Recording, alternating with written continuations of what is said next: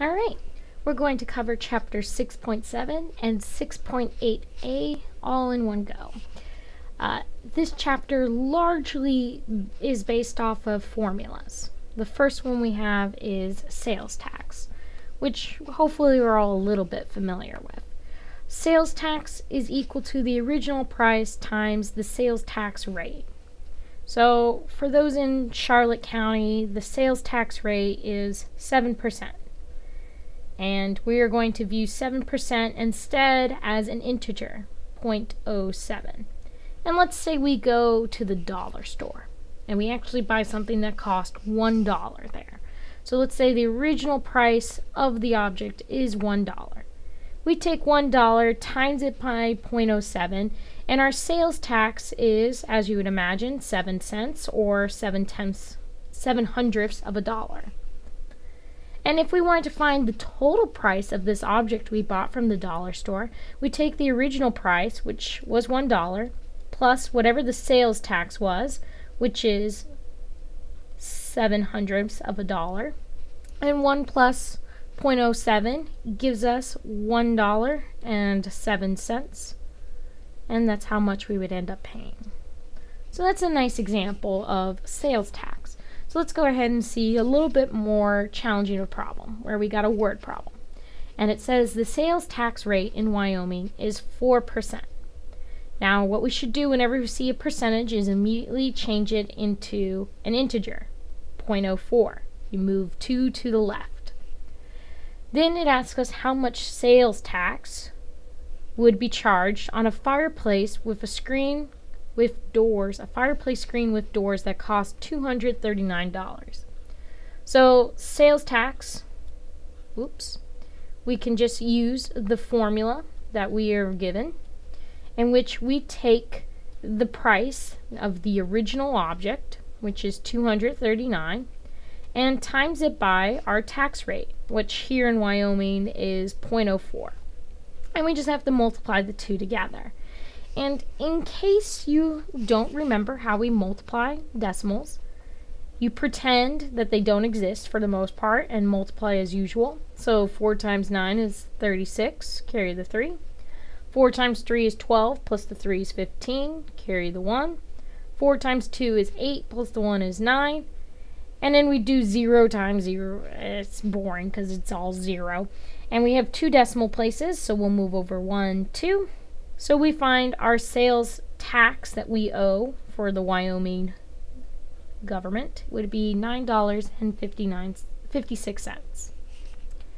Now let's see, did I answer the whole thing? It asked us what is the total price paid. So the total price, I'll take whatever the original price was, 239, and add to it the sales tax. Now be careful there was no change with the original price. And when we add decimals, it is crucial that we line up the decimal points. So we'll go ahead, add as usual once the decimal points are lined up. And we end up with $248.56 is the total price paid for this fireplace screen with doors. Okay? And just make sure you are specific with your answer. Make sure you state this guy is sales tax and this guy is the total and be clear when you answer. Let's go ahead and see another one. It's going to be a little bit different. They say the sales tax on the purchase of a new fishing boat is $112 and the sales tax rate is 2%.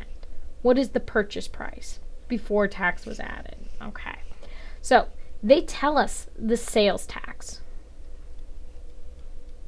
And I'm going to rewrite my formula. I know it's a few pages back, but we'll just say sales tax is the original price times the tax rate.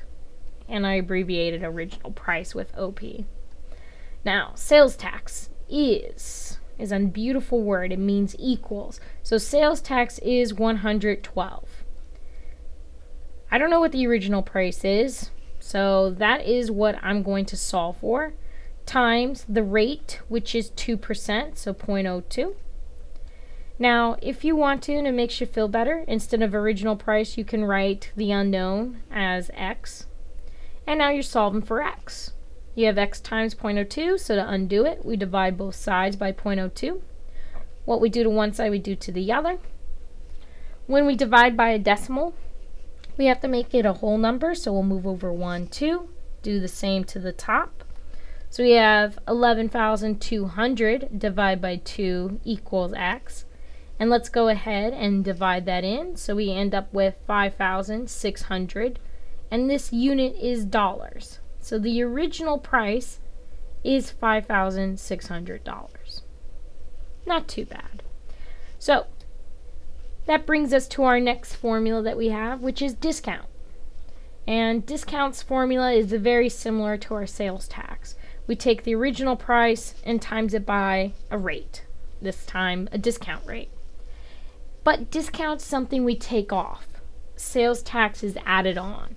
So here, discount we will subtract. And it's very important we remember that. Okay?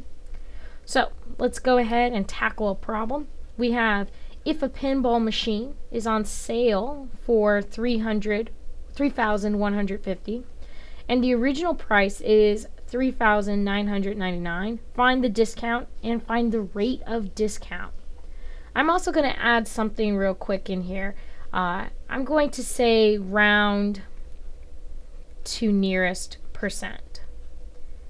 Mostly because my discount rate is not going to come out very nicely here.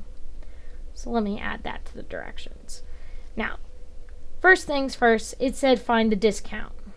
Well, I can take the original price, subtract it by how much it's on sale for, and that will tell me the discount. So I have 9, I got 4, I got 8, and there we go. So the discount that I'm getting on this pinball machine is $849. Now I need to find the rate of discount. So we can use our formula in which we know discount is equal to whatever the original price is times the rate.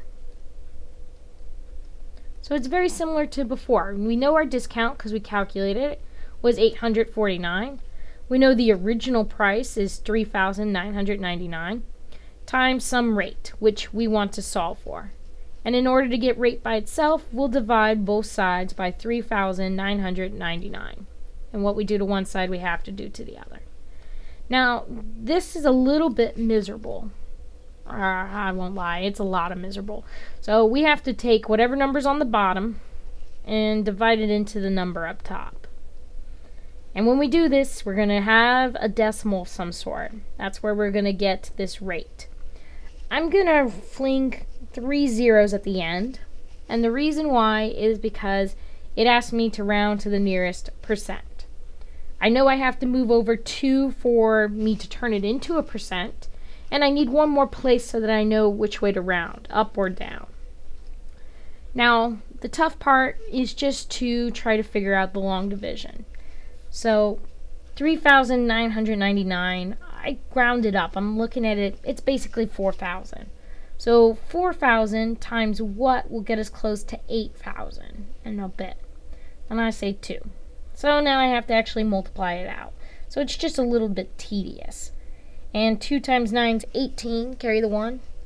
2 times 9 is 18 again, plus the 1. It's 19, carry the 1. And then finally we got 2 times 3 is 6. And there was a 1 that was carried that I forgot about. And that actually makes it 7. So we'll subtract this entire thing. So we got to borrow. 10 minus 8 is 2. Gotta borrow again. 18 minus 9 is 9.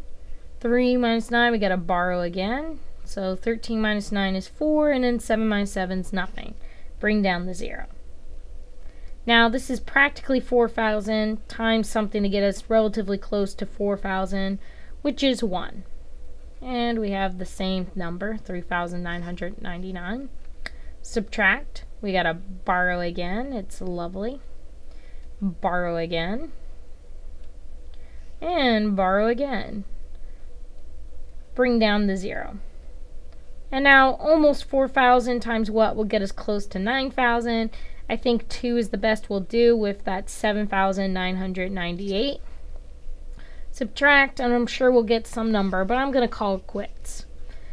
Mostly because I'm only concerned about the rate, and I just have to round it to the nearest percent. So I'm going to take 0.212, and whatever it may be, who knows. I'm going to move it over two decimal points, so I have 21.2, whatever it may be, percent. And since I'm rounding to the nearest percent, I look at the 1, go to the right, it's a 2, so I round down. So my answer is 21%. Minus it being a little bit tedious, that wasn't too painful. Let's go ahead and tackle another. Uh, we have a thing called commission. And commission is equal to the sales times the commission rate. To give you a better idea of what commission is, in case you don't know what it is, it's very similar to tips in waitressing. So you have whatever your tip you're going to get is equal to whatever the price of the meal was times whatever tip rate that they're going to give you. Usually 15% is the nice courtesy, or you said you really like them, you gave them 20%. Whatever that rate may be, you take a percent of whatever your price of your meal is, and you add that on to whatever your price that you paid for the meal, and that's the total price. So that's tip. It's very similar to commission. What commission really is, is a car salesman sells you a car, and part of his salary is added to him whatever he gave you that price of that car is. So that commission rate, maybe he's got like 20 or something, takes 20% of whatever the car was and he gets paid that extra bit. So let's go ahead and tackle a problem if I haven't confused you already. So we have Jose's commission rate is 21% what is the commission from the sale of $12,500 worth of windows? So Jose is a window salesman. He sold, this is how much he sold, $12,500. And we take that and we multiply it by his commission rate, which is 21%, and that will tell us what his commission is. And all you have to do is the math just a little bit tedious here. We'll go ahead and multiply it. I need to do it vertically, not horizontally. And we'll have 1 times 0, 1 times 5, 1 times 2, 1 times 1. Placeholder, don't forget it. 2 times 0, 2 times 0. 2 times 5 is 10, carry the 1. 2 times 2 is 4, plus the 1 is 5. And 2 times 1 is 2. Add them up. And then since there was two decimal places, we move over two. So Jose gets a commission of $2,625 added on to whatever salary he may have, and that's what he gets paid. Okay, now that's it of 6.7. 6.8a is about simple interest, in which we have a lovely formula I equals PRT, and it's P times R times T. I represent simple interest. P is the principal, or you can think of this as a starting amount or the initial amount. It's usually either the initial amount you put into the bank or maybe how much you take out that you're borrowing. Um, it's the beginning, so to speak. R is the interest rate. It will be given to you as a percent and you'll need to convert it to an integer. And time is always in years, and that's what t represents. So let's go ahead and tackle a problem where we'll work through this. We have Copypix Inc. borrows $10,000 at 9% for 60 days. Find the amount of interest due and find the total amount that must be paid after 60 days. So this problem tells us a lot of things. We want to find simple interest due, so I equals PRT. Now it's up to us to fill in what the principal and all the rates and time is going to be. We want to find the interest due. So we want to find I. That's the unknown to us. We know the principal is the initial amount that he's borrowing, which is $10,000. The rate is 9%, and we'll write that as an integer, 0.09. And T is 60 days. That's where a little bit of trouble comes up. We can't have T in anything but time. If we go back, time has to be in years. So we have 60 days. That's pretty much two months, right? 30 days in a month. Over 12 months in a year, which is pretty much one six. Now you might be going, well, wait a minute. 60 should go over how many days are in a year, which are 365. And yeah, you're right, but I'm rounding. I'm saying it's about, well, six can 60 can go in there once, 60 can go in there almost six times. I'm taking an approximate, mostly because I'm a mathematician and I don't need the exact amount. If I was a banker, I'd be probably going crazy because you're losing out on five days, which you could earn interest at. But we're only taking it yearly. So it's one sixth of the year. All we are going to do now is plug this in and solve for i. So we have 1,000 times our rate times our t. And I recommend taking 1,000 times 0.09 first, which gets you 900 times 1 6. And 900 times 1 6 is 150. So that is how much simple interest is occurred over this 60 day period. Now, the next part says find the total amount that must be paid after 60 days. If we want to pay the total, we're going to have to give back the principal that we took out initially for this borrowing of money plus the interest we owe. So our principal was 10,000 plus the interest we owe so our final amount that we're going to have to give back after 60 days is $10,150. And that's it.